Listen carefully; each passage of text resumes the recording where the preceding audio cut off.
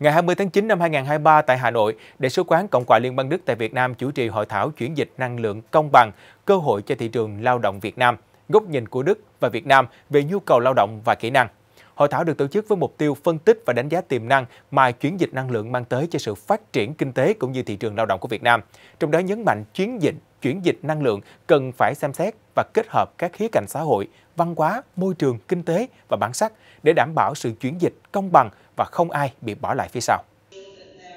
Sự kiện thu hút gần 200 đại biểu tham gia trực tiếp và hơn 300 đại biểu tham gia trực tuyến đến từ các cơ quan hữu quan trong và ngoài nước. Hội thảo kỳ vọng tạo ra một diễn đàn để đưa chủ đề chuyển dịch năng lượng gắn liền với chuyển dịch về việc làm đến gần với công chúng và quan trọng hơn hết là Việt Nam có những quyết sách đúng đắn và phù hợp để chuyển dịch năng lượng một cách công bằng và bền vững. Việt Nam cùng với cộng đồng quốc tế cam kết phấn đấu đạt mục tiêu trung hòa carbon vào năm 2050 và theo đuổi quá trình chuyển đổi năng lượng công bằng. Chúng tôi nhận thức được tầm quan trọng của việc phát triển các kỹ năng cần thiết và sẵn sàng học hỏi từ các điển hình tốt trên thế giới. Đồng thời, đánh giá cao mối quan hệ hợp tác Việt Đức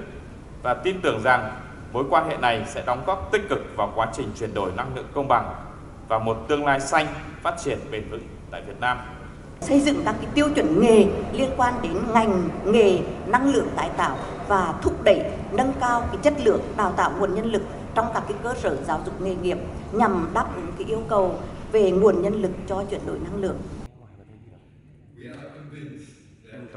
Trong khuôn khổ hội thảo, các chuyên gia quốc tế đã chia sẻ những câu chuyện về chuyển dịch năng lượng trên thế giới, nêu bật các cơ chế dẫn đến thành công, đồng thời làm rõ tầm quan trọng của việc xây dựng và bồi đắp lực lượng lao động và xây dựng cơ chế chính sách có tầm nhìn dài hạn để thúc đẩy sự phát triển các loại hình việc làm mới và việc làm gián tiếp liên quan đến chuyển dịch năng lượng.